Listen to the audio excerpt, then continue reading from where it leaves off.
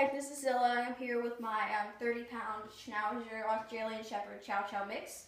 And um, I'm going to show you how you can get your smaller dog to play the piano because in my past video I did my um, Great Dane. So now I'll show you how Maggie plays the piano. Go Maggie. Play. Play. Play. How I got her to do this was I would get her up on the stool and I'd pull the treat out until she eventually stepped on the piano. And then I would give it to her and then I put the word play with it. And she eventually got it. play.